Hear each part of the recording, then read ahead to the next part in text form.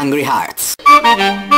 Caro, vedi se in frigo c'è rimasto un po' di gazpacio alle ortiche, il piccolo ha fame.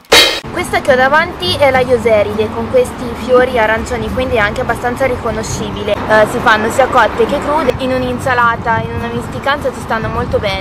Il titolo del film non è una metafora, ma è letterale. I cuori sono affamati perché qui non si mangia niente. Quella di questa sera sarà la cosiddetta psicocena, cioè cena della psiche.